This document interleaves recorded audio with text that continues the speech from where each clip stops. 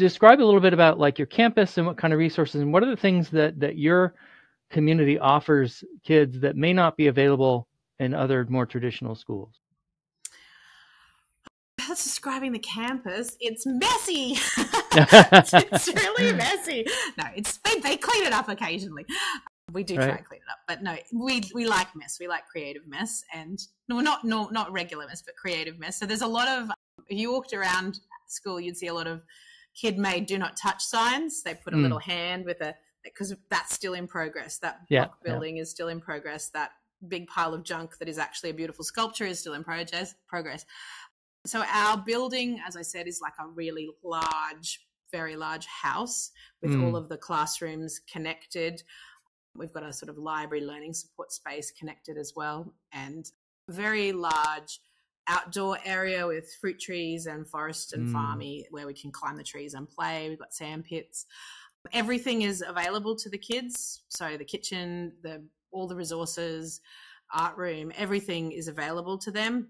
Mm-hmm. And so we do have the responsibility of learning how to put things away afterwards and to make sure it's not it's interesting at Humanitas, which is very similar but in a completely different setting. There's mm. so much, every, like almost every week, there's a, an issue on the agenda for meeting about washing your dishes, yep. and it's like living in a big share house with like 60 yep. teenagers, and everyone's like, "I'm sure it's I'm always washing the dishes, but somebody else doesn't wash the dishes." so yeah, there's a lot of resources available, and there's a lot of responsibility managing that. Mm-hmm, mm-hmm. We've got we don't own our land. We we lease mm. our land from the Department of Natural Resources, so that's a mm. kind of government body, and that arrangement doesn't really exist anymore, but did when the school was started. So mm. forty years ago, we could do that. We could lease a little bit of land. What it meant that was when we were started, we had our little patch, like our sort of building, and hmm.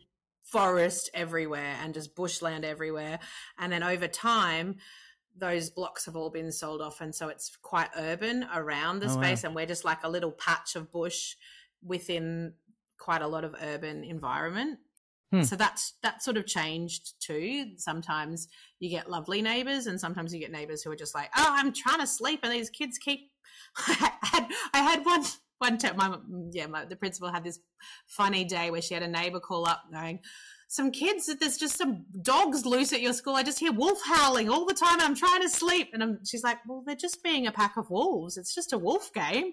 Um, we, we had kids who were wolves for many hours of the day. She had to be like, "Guys, you need to be like quiet wolves because the neighbors are trying to sleep." so, so we have, yeah, we have mostly a good relationship with them, but it mm-hmm. has mm-hmm. changed without having as much free range and also mm. having more children. Obviously, we love more space, but sometimes you learn from being together.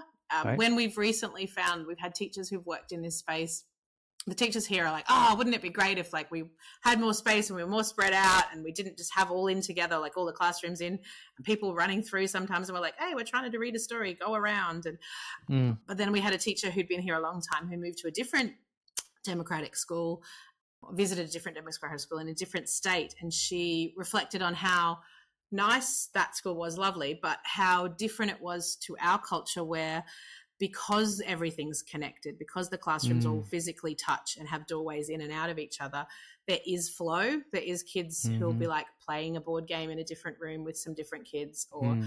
Doing some artwork or cartooning with and so you'll call your group together for your group times and people will come from all, all spaces, but there is a really mm. nice sense of connectedness. So even though we're like, oh, wouldn't it be nice to have more space?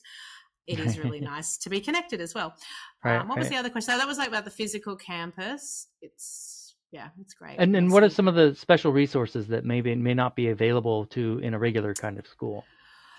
Um, well, I would say we have similar resources to a regular yeah. school, like in terms of technology Mm-hmm. computers mm-hmm. and 3D printers and obviously state schools in in Australia are pretty well funded so they can mm. have a lot of resources but lots of their resources may not be available all mm. the time you go to lots of schools and you're like oh my goodness look at this science lab or look at this amazing right. woodworking workshop and you're like yeah but do the kids actually get to use them very often, or is it just a small group sometimes on special occasions? Where whereas our kids will use their tools or work with Don, who's our amazing maker space person in this space, to be fixing bikes or fixing lawnmowers. So mm. that that kind of thing.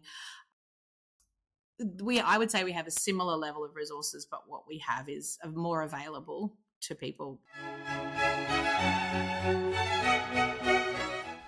This is the Agentic Schools Vodcast, where you will learn about schools from around the world where children's agency to make decisions about their learning and living is more important than their academic skills. What makes education possible is the satisfaction of psychological needs. So that is what these schools have in common with all others. What makes a school agentic is satisfying those needs particularly well. I'm your host, Don Berg.